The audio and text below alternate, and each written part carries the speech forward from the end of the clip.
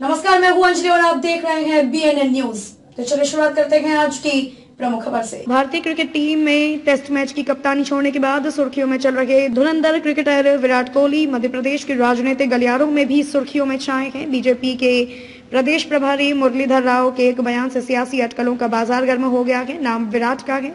लेकिन संदर्भ 2023 के विधानसभा चुनाव का। बीजेपी के प्रदेश प्रभारी मुरलीधर राव ने मध्य प्रदेश के मुख्यमंत्री शिवराज सिंह चौहान के लिए कहा है कि वो विराट कोहली की तरह धुआंधार बैटिंग करेंगे। बीजेपी शासित राज्यों में चुनाव से पहले मुख्यमंत्री बदलने, जाने की परंपरा के बीच राव के इस बयान के नए मायने निकाले जा रहे हैं। बीजेपी के प्रदेश प्रभारी मुरलीधर राव ने ये बात बीजेपी के बूथ विस्तारक योजना में 100 घंटे के समय देने के मुद्दे पर कही। मौका बूथ विस्तारक योजना के डिजिटल फॉर्मेशन के लिए बनाए गए संगठन ऐप की लॉन्चिंग का था।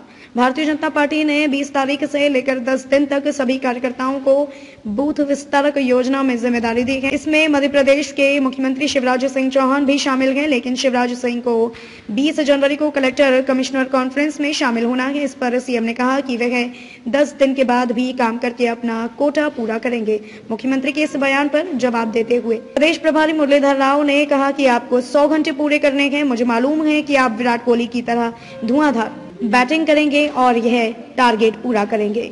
खबरों में अब तक ये बस इतना ही। मिलते हैं फिर ऐसे ही किसी बड़ी खबर के साथ।